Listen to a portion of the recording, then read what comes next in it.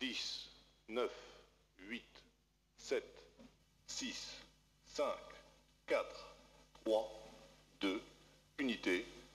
Top, allumage P80, décollage.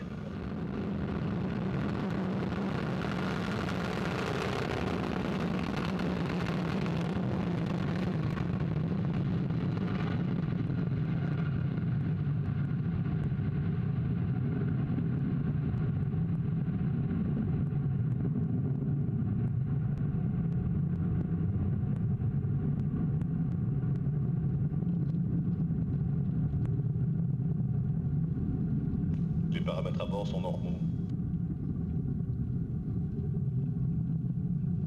And they're off.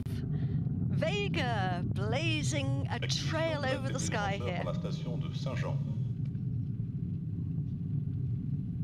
He's just said we picked up the signal at the tracking station in Saint Jean, which is here at in French Guiana in the north.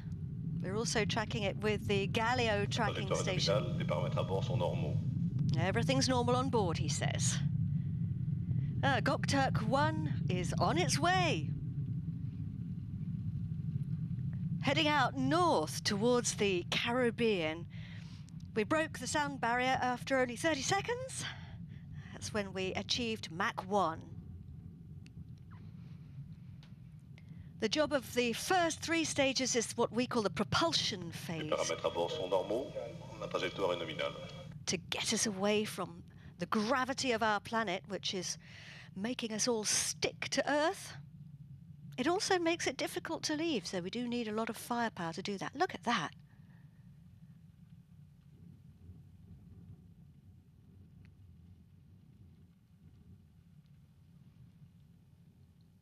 We're burning the P80